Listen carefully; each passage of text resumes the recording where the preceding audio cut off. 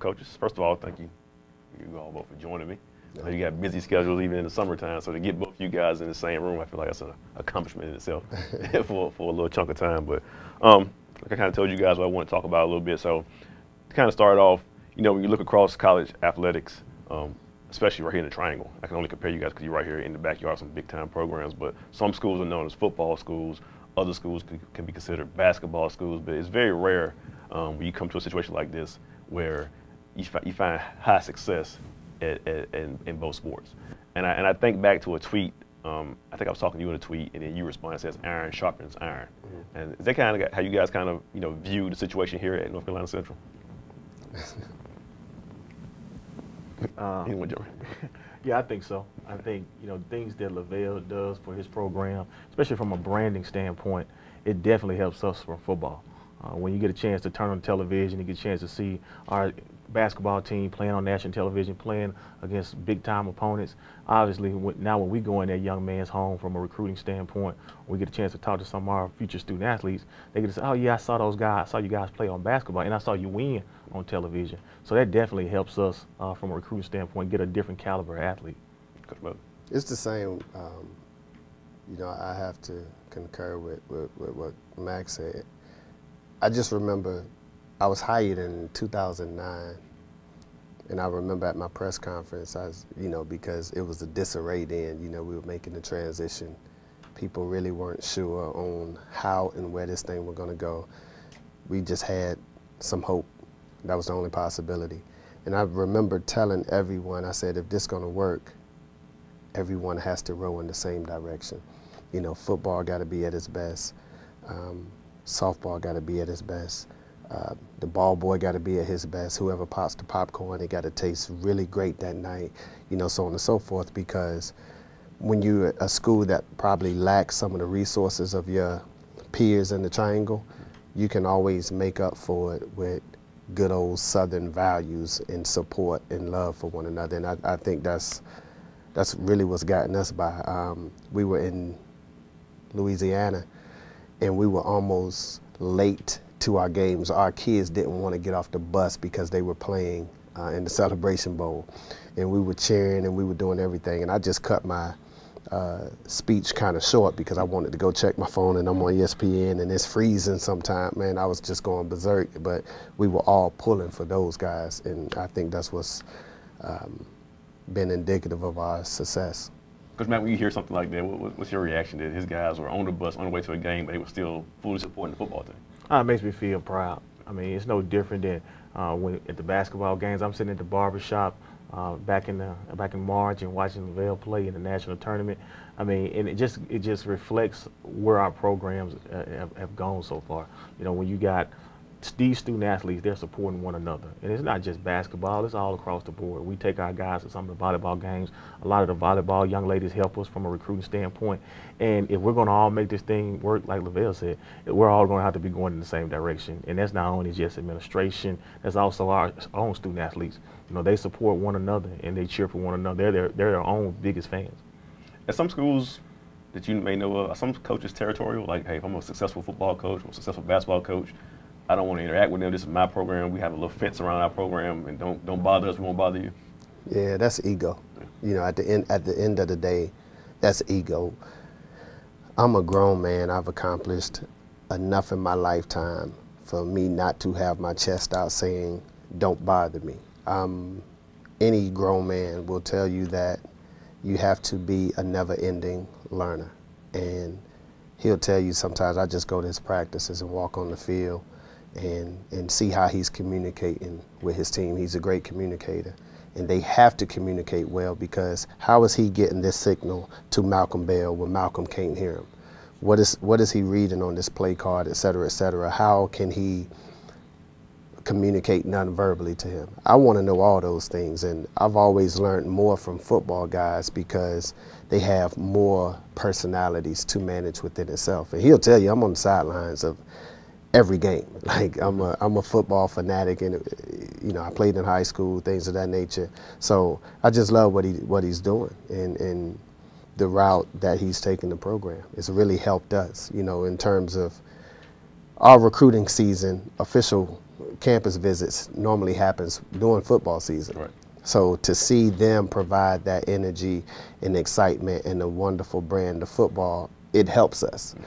And during basketball season, when we're in the midst of it, I know exactly where the football players are going to be. Nine times out of ten, they're barking at the opposition, you know, and it just helps us, man. This is, and, and the thing is, it's organic. This is an organic relationship. We call, we text, we talk on the phone, um, and that always helps. And our kids can feel that vibe. And now I think that's where the support comes with one another. That actually answered my next next question because you know you see some programs, it's coach shows up, wave his hand, and leave when the camera's off on. But Yeah. I've seen you at football games. I've seen you in your normal seat up at basketball games, and like I said, the kids probably do feel off that. Um, I remember when I talked to uh, Coach Trisha Stafford Odom, do basketball, women's basketball coach. She said that uh, she reached out to both of you guys, or talked to one of you guys, talked, and reached out to the other. But she said she didn't want to be the weak link. And so that goes back to that iron sharpens iron. Right. It goes back to lifting up other coaches. Can you kind of elaborate and talk about that a little bit? You know, I've got a chance to talk to Coach Odom a few times, and you know, one of the things I like about it is her energy. And I think the biggest thing is that she's going to provide a certain type of energy to our entire program. Not wanting to be the weak link, wanting to, you know, you're only good as your weakest link. Mm-hmm. And I think she's going to come in here and she's going to provide a certain energy for the for these young ladies and for our entire program. Anytime you get a new coach, it's a sense of anticipation, it's a sense of excitement, and that's one of the things I'm excited about to see, you know, what she brings to the table in her tenure here. Obviously both of you guys are, are very competitive. You're coaches and you've probably been playing sports for a long time. So when you see, uh, you know, Mack go undefeated in, in the MEAC and, and win another ring in the fall, you kind of you kind of licking your chops. Okay, I'm ready to get back on the basketball court and, and bring a ring here as well. Absolutely. I, I think, you know, and he, he probably he don't he probably don't know this. This is the first time I probably ever told this story. When he was hired, Okay. um, I went to his press conference, and afterwards, everyone was was leaving, going back to uh, their respected areas, and Chancellor Saunders White, God rest her soul, she grabbed my arm, and we we were walking down the steps of the student union, and she said, um, "Coach, make sure you always there for him now. Promise me that." All right. She said, "Make sure you're always there for me." And she said it in a motherly fashion, where she said a few words, but I really knew what it meant. And basically, what she was saying was, and I, I said, "Chance, he's gonna be okay. Like, don't worry about that." But basically, what she was saying is, what I to reiterate my opening statement, we all have to do this together. And if I was coming in and he was already here, she would have tapped him on his arm and said, Jerry, make sure LeVelle is, is okay now. Make sure you take care of him. So when you have that leadership and you fall under the umbrella of that, it's almost a welcome for any new coach that's going to come in. It's something I'll never forget. Have you seen it? Well, you know any reasons of heard any reasons why it doesn't work at so many other programs? Like you said, ego plays a part in it too. But there, are, you know, there are bigger programs with more revenue, more resources that it should be able to work. But for whatever reason, it doesn't. Do you have any idea, any thoughts, or any theories of why it doesn't work in some some other programs other than ego from the coaches? Uh, just from some of the coaches that I know personally um, that really don't get along with the other revenue sport, it's you know it's that it's the ego of a man, which we all driven by, and that can be a positive or a negative.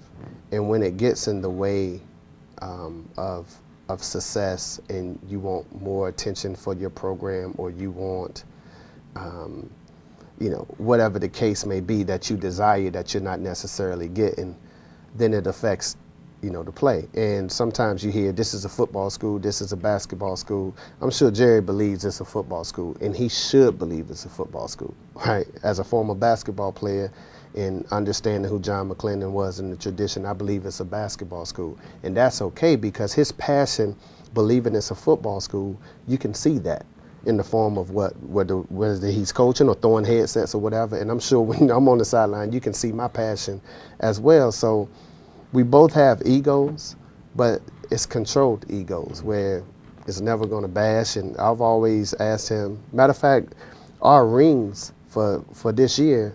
We're kind we kind of modeled it after him, you know, because I like we, we already did it a couple of times, and I really loved his taste in what they did with the black ice ring, so I bought it to my guys. Those are the type of things that, those nuances that allow you to win and continue to be successful. Want to add to that? Yeah, I, I mean, when you look at different programs, there are a number of reasons. It could be, like you said, from a resource standpoint, from a location standpoint. A lot of those things kind of all play a, a big factor. But one of the things that I always wanted to do when I got a chance to lead up my own program was I knew that it was going to take everybody to make the deal work. And just like we said before, whatever success that he has, that helps us because we're able to build off that and we're able to not just sell North Carolina Central football, we want to sell North Carolina Central the entire university. So that means any success they have across campus in the science department, the music department, anything like that, because these student athletes now, when they come on your campus, they're not just regular old football players or baseball players. They have a lot of interests that go way beyond that. And the more things that we can sell and the more things that we can present to them to say, hey, look here, we not only have a great basketball or football program, we have a great criminal justice program, great business program. Those are the things that we try to sell from an entire university standpoint because the more you can sell, it's no different than in life. The more things that you can do, the more opportunities that's going to open up. Same way with a student athlete. The more things that we can sell from the triangle area and from, you know, on, on our campus, the more things like that, that's going to help us get certain student athletes we've all seen how, how sharp Coach Moton is on the sidelines. If he's asking for fashion tips on your ring, you're doing something right. That's right. Um, I, I want to go back to, um, I think you and I talked when your signing period. Uh, one of your transfer kids said, he's like, hey, you said he came down for a basketball game, saw mm-hmm. the energy, was like, I want to go here. Oh, yeah. Have you had kids come, you know, they visit the football season, they see the energy, they see them winning, like, coach, this is where I want to be. Absolutely. And we, we honestly, we, we plan around that, that time period, you know, whether it's homecoming or whether it's um, a lot of times we're not here during the A and T game, but you know, right now, if it's not, if the weather permits, the stands have a certain type of energy when they're playing, mm -hmm. and it doesn't matter what football game we bring um, our kids to on a visit. Once they see this energy and they get the, um, you know, full understanding of what North Carolina Central is about, they commit on the spot nine times out of ten when we get them early. So we had to do that this year. So it works. The same thing with you. No doubt. So. Yeah. When you talk about January, there's only so many Saturdays that we have basketball games and we can have really official visits down. But that energy, our crowd and our student section at the basketball game is just unbelievable. It's unreal. Uh, the energy and the emotion that the student athletes, the students show during the course of the game, our student athletes, potential recruits, they see that. They see the vision. They see they see the they see the program. They see how successful we are, and they say they want to be a part of that. And not only that, when they get a chance to walk around and go to the popcorn, go to concession stands, things like that, they run into different alums, and mm -hmm. then the alums show the passion and how much they love Central. And that's that's what students want to be a part of. They say, hey, I want to be a part of that legacy. I want to be a part of that tradition. You know, when LeVelle comes out, he brings the team out, and they run around the court, and they, they run up and down, dominating people. They get that same attitude from our football players as well. Like, we are NCCU. Or, you know, we soar. Those kind of things, they truly believe that talk about uh, running to alums. Have you ever had a recruit on campus and you just uh, showing them around, just happen happen to run into Coach Moton and kind of you know he's very visible. Everybody right. knows who he is. Yeah kind of bringing back Coach Moton's office. No, no doubt. Yeah. We've had student athletes running the coach. I, have been bringing guys in McDougald, and uh, you know they've actually been from sometimes the same area. Same you know, we had a couple of kids from Florida this past off season. They, they came in, they ran into the coach. He had some recruits from Florida, and I think he ended up getting his recruits, and I ended up getting my recruits, yeah. and that was just by coincidence. And those kind of little things you know, they may they, those guys may come in here and they may be all Americans, and just that little encounter that they had when they were on campus with coach and, and the potential recruits going help them help them get here. We actually have a kid that's signing. Um, that you know he's verbally committed or whatever, but um, we actually he's the one who really recruited the kid more than I I did. Um, you know, and it's, I got to thank him for that, man, because he saved me a lot of time, a lot of energy, a lot of a lot of back and forth, and you know, that's once again, it's the I think it goes back to the relationship just being organic. You know, I, I, he's my friend before he's North Carolina Central football coach. You know, I respect not only what he's done on the field, but what he's done off the field. When I see him interact with his family, it's almost like seeing a, a mirror reflection of me. Um, you know, with his wife and kids, same thing. We get our haircut at the same spot by the same barber. You know, so it's it's all organic, and and you know he knows anything that he ever needs from me. Um, you know, I'm here and vice versa, and it all reflects in what we're doing with our programs. With the visibility you guys have had in the last four or five years, of whether it be a bowl game or NCAA tournament game or just a televised game, um, has this become a prime landing spot? More recruits or transfers reaching out to you guys because they've seen you guys so much and the success that's been going on with both programs? Uh, on our part, no doubt. Uh, when you look at what he's been able to do uh, on the court and off the court, you know, young people, they, they're on social media. They, they watch television, they on YouTube, they see all those different things. And, you know, if something isn't quite going right or they're looking for a change of venue, they say, well, where can I go and have a, a, significant impact, but at the same time still have a big time feel about where I'm going. And I think North Carolina Central basketball and football present both of those. Uh, you know, the biggest thing about LeVelle is not only is he a great basketball coach, but he's a great person. So his name and the people that he has a chance to touch on a regional and then on a national stage, he knows a lot of different people, have a lot of different contacts. So when we get that young person, sometimes they know him hmm. and, and they want to meet him or they, or they, know what kind of person he is. Parents, you know, he's a great player here. So just in the area, people know know his name and they know when they step into this program, we're trying to run a quality program just like he's out, he's running a quality program. So they know what kind of people that they're going to be around when they come to Central. Yeah, ditto. Um, you know, it's, it's, the irony is, you know, our day is so filled with recruiting and we're chasing this and we got a million fires to put out and we got to make sure this kid is graduating, this kid in class, et cetera, et cetera, that some of the things that take place, it really slips our mind until we're reminded again. And one of my childhood friends, um, you know, her and I are really close.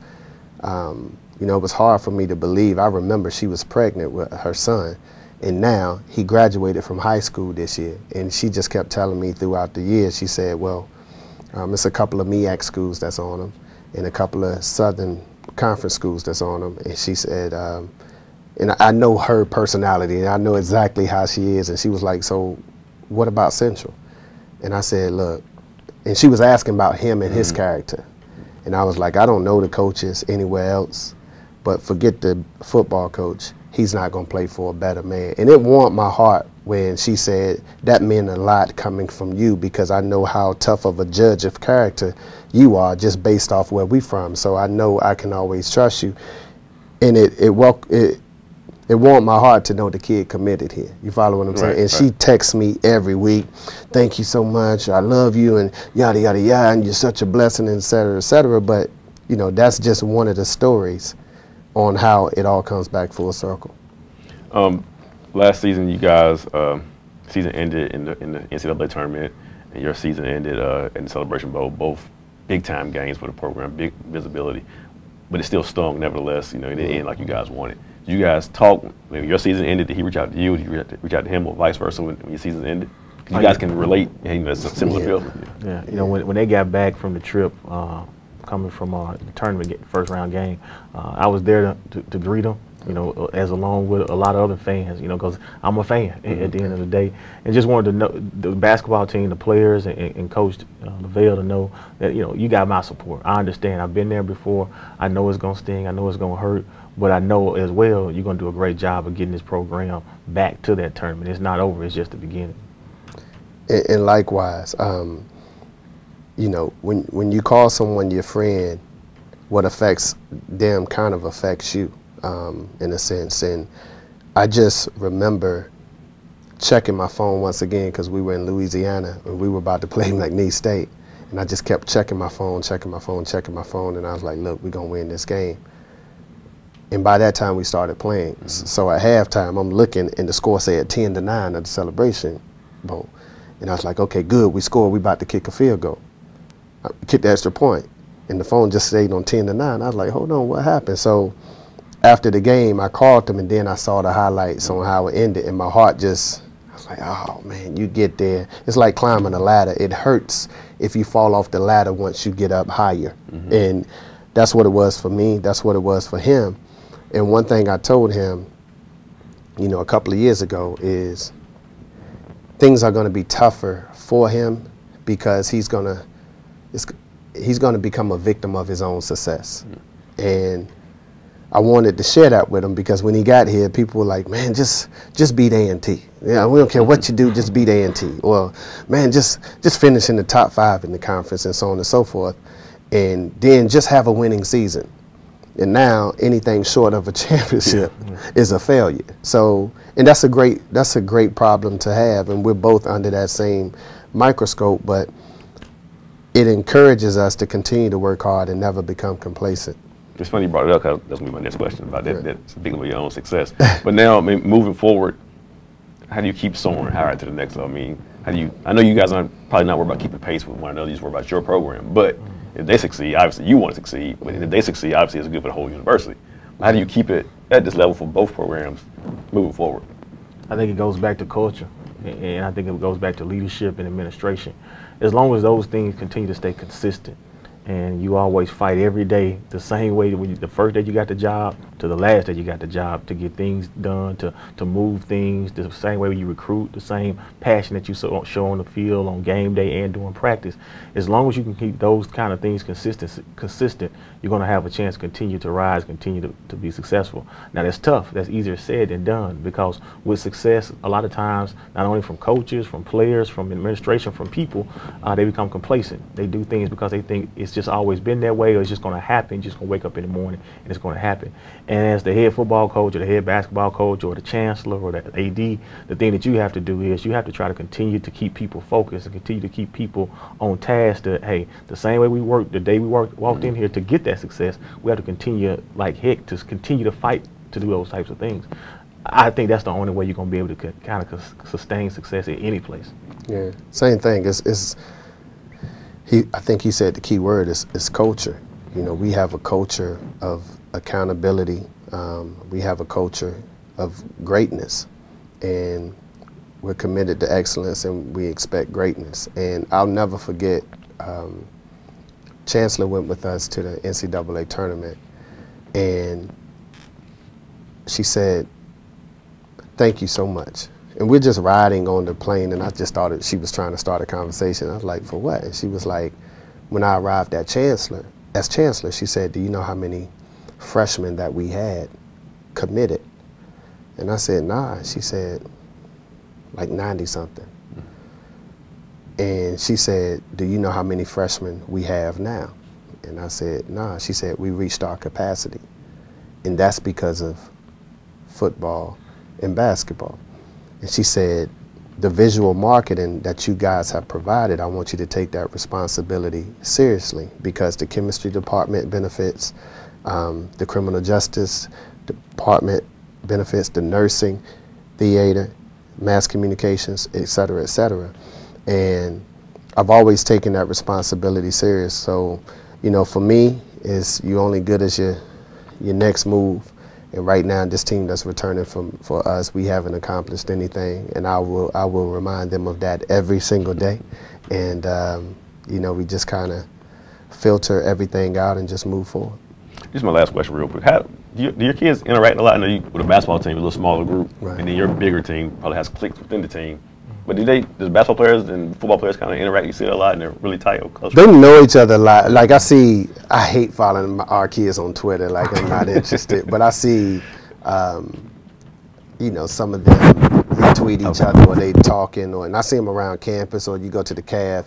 Um, I think the way the time is constructed, you know, being an athlete, student athlete is really like having a full-time job and a part-time. You know, so our guys probably spend a little more time with each other and his, his too because that's just what's regimented from both of us as coaches and leaders. Um, but I think the beauty is I get to know some of his players. Like I'm a huge Malcolm Bell fan, yeah. and I was like, boy, you better represent that 15 man, because I, you know, that was my number.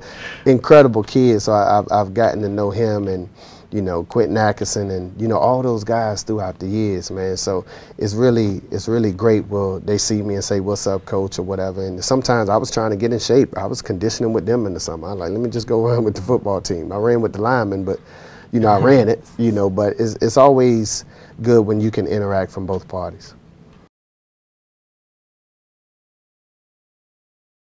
This is both of you guys, so we have to go first, okay. whatever. All right, so I'll start with you, Coach If you're recruiting the other coach, you're recruiting Coach Mack. Mm-hmm. You play basketball. Which positions he play on the basketball court? Uh, point guard. Point guard. Why? He's the offensive coordinator in football. Um, so he has to see, envision, and predict what the defense next step is going to be. And that's what football really is. And, and I always tell him, you know, being a football guy, and I played the quarterback position, I always tell him, I think he's a genius because the way he can put those kids in position to be successful and maximize their strengths. And he see things that and I'm, I'm also giving him scout reports on other teams. So if I saw A&T play on football, you know, a week before, I'm like, look, all we got to do is stop Tarik, whatever, whatever. And and he, he just sees things a step in advance. So definitely he'll be my point guard. So if you're recruiting Moton, what position we play for you? Uh, I think coach is going to be my wide receiver, and he's going to return punts and kicks. Uh, when I look at what he does and his style, uh, the way he handles his football team, it reminds me of, of explosive. You know what I'm saying? He's a he's a guy that he's explosive with his players. They play an explosive brand of ball. When I watch those guys play, what I see is the way that they compete and the way they fly around to the ball and play defense and things like that. That's what I think of when I think of a, a, a wide receiver that's just going to instantly impact the game. You know, you might not have to play uh, 40, 50 plays. You might only have two or three catches, but those two or three catches or those two or three punt returns or kickoff returns, they're going to change the game dynamically. Uh, you think about a guy like a Tarik Cohen that played for A&T. Tarik was worth at least three touchdowns uh, every game, whether he got those touchdowns or whether he put his team in position to get those touchdowns. And that's what he's done. You know, he hasn't coached a down of football, but he set me up for success to have a successful program. Can you take a hit going across the middle?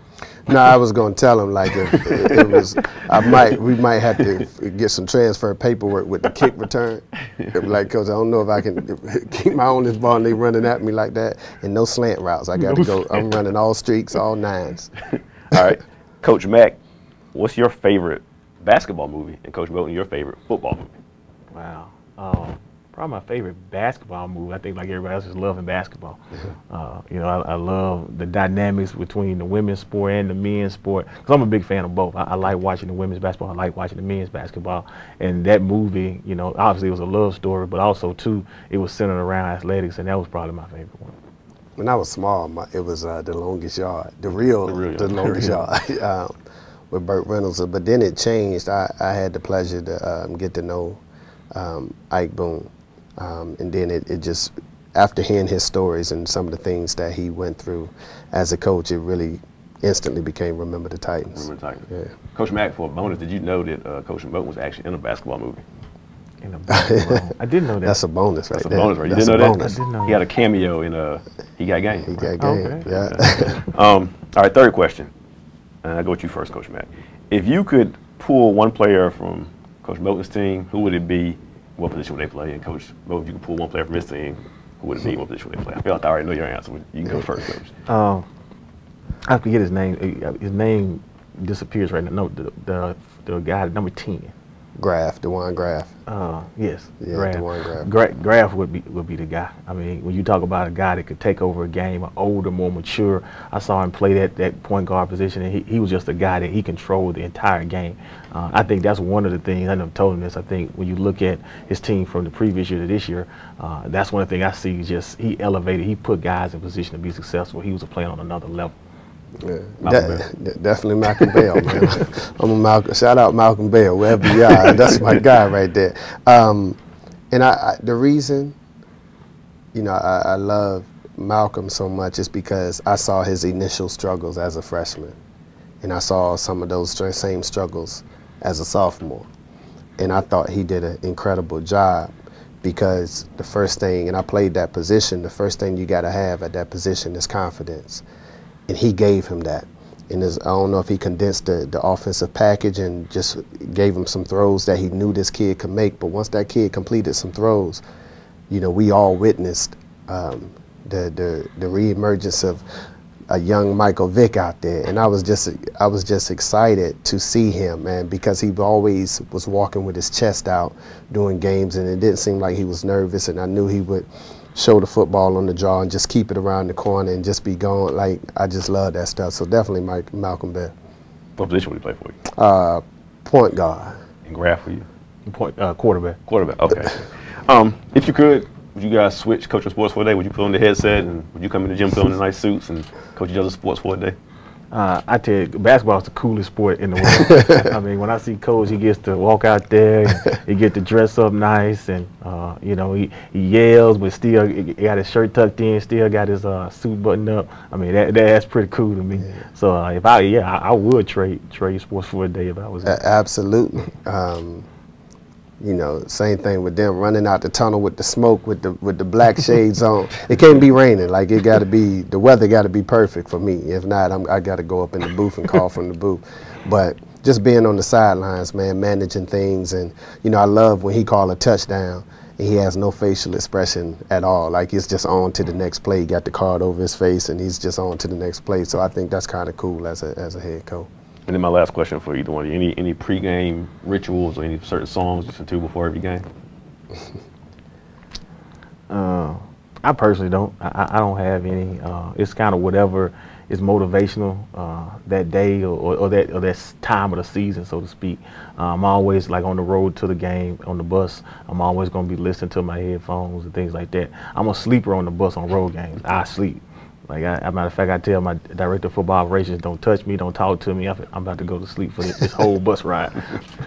yeah, I'm a, I used to listen to um, Justin Timberlake Mirrors because we we had our best game one night before, and I played that before the game. So I just listened to that for the entire year. Um, you know, I'm just kind of, um, what you call that? Uh, when you, I, it just superstitious, man. I'm extremely superstitious. Um, so I changed it up a little bit last year, but it's just whatever to put me at ease because I, I sure can't listen to their music. I can't allow them to, to, to ease my pain because I don't understand nothing um, that they're listening to. I don't understand any of the lyrics, so it's just whatever is fitting at the time for me. Appreciate it, guys. Hey, thanks, Joe. This has been an exclusive presentation of the NCCU Sports Network.